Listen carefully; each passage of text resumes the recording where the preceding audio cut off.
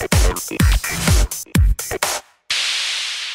Get up close and personal with Leonardo DiCaprio and Russell Crowe in The Body of Lies. This action-packed spy thriller was directed by Ridley Scott and is based on David Ignatius' book, Body of Lies. Its rapid scenes tell the story of a CIA played by DiCaprio desperately trying to find the root of multiple terrorist attacks, while Hoffman, played by Crowe, tries to strategize DiCaprio's every move from a thousand miles away.